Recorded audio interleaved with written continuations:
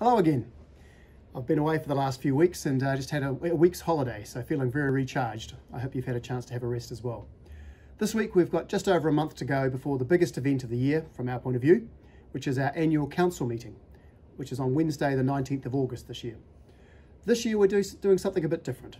The Deloitte and Chapman Tripp Election Conference and Election Survey, which is hosted by Business New Zealand, will be in Wellington the day before.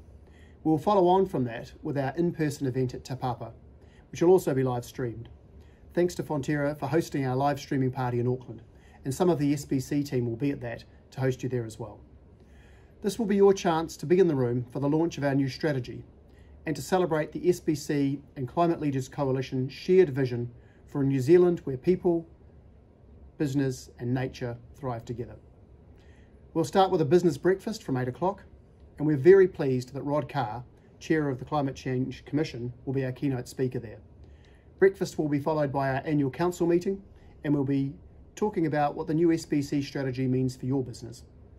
You'll hear from other members about the opportunities awaiting those at the leading edge of sustainability and how we can collectively get there.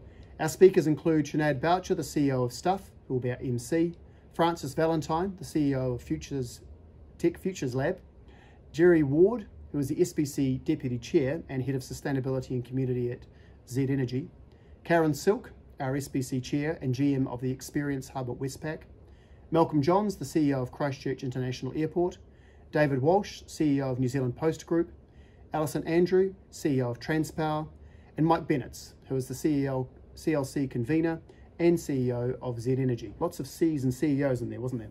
Um, and of course, I'll be there as well.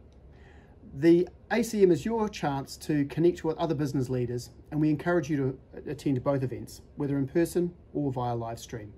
This is for member, members only, so check Pānui for details, and I look forward to seeing you there. See you next time.